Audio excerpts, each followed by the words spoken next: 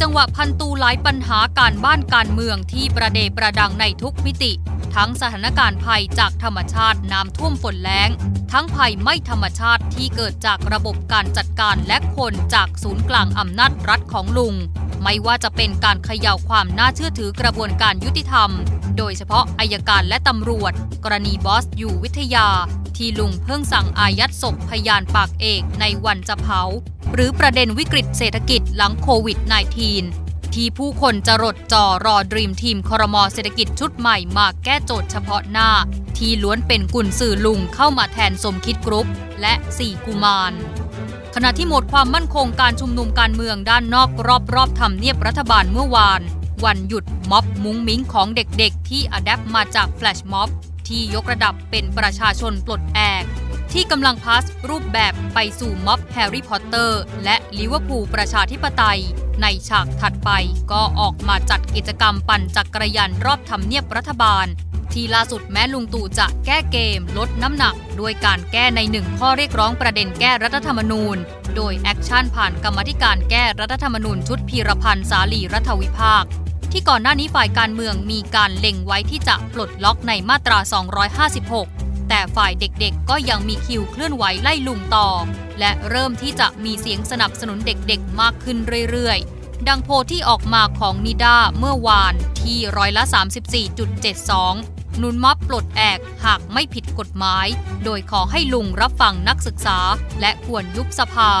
ขณะที่ดูสิทธิโพนอกจากสับสนข่าวเศรษฐกิจแย่แล้วยังรอดูรัฐบาลในการรับมือม็อบเด็ก และอยากรู้ความจริงคดีบอสว่าสองมาตรฐานจริงหรือไม่ เรียกว่าทุกเรื่องที่ประเดประดังล้วนเป็นหน้างานที่ลุงต้องตัดสินใจทั้งสิ้น โดยเฉพาะที่จะเกี่ยวข้องการบริหารประเทศที่กำลังเจอกับโจทย์หิน เศรษฐกิจที่รอทีมเศรษฐกิจชุดใหม่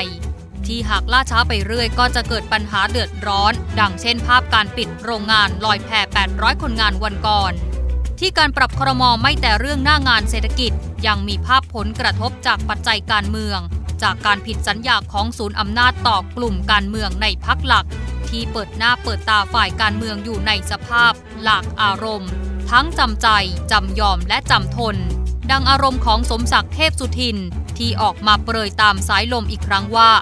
จะเกิด after shock หลังการปรับครม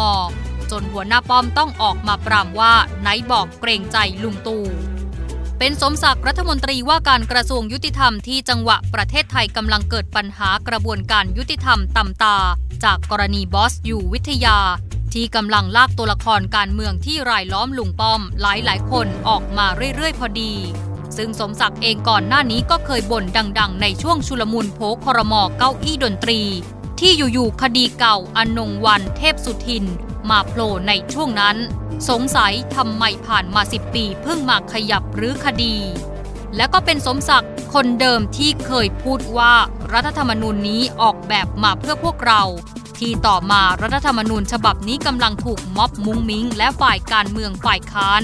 และพักร่วมดูโอ ประชาธิปัตย์ภูมิใจไทยกำลังเรียกร้องเคลื่อนไหวให้แก้ไปถึงกล่องดวงใจคอสช คือปลดล็อก 250 สว ที่เปรียบเสมือนสสของพักลุงคนกลางใน 3ปอทั้งหมดทั้งมวลต้องติดตามต่อไปว่า after shock การเมืองหลังปรับครมที่สมศักดิ์แห่งสองมิตรว่าไว้ จะออกมาในรูปแบบใด และกระทบสามลุงแค่ไหน ในจังหวะศึกรอบด้านและหน้างานเต็มมือ จะเป็นเช่นที่เคยเห็นจากในกระบวนการฝ่ายนิติบัญญัติ ดังภาพการประชุมกรรมธิการงบประมาณปี 2564 ล่ม หรือภาพประชุมสภาใหญ่ล่ม หรือจะ cross ข้ามไปยังอีกขาหนึ่งของสามขาอำนาจอธิปไตย คือกระบวนการยุติธรรม ที่ไม่ควรลืมว่า ก็มีตัวละครหลายคนที่นอกจากเกี่ยวข้องกับศูนย์อำนาจ ยังเคยอยู่ในสภาสนช และยังอยู่ในสภาสูงปัจจุบันเกี่ยวข้องไม่น้อย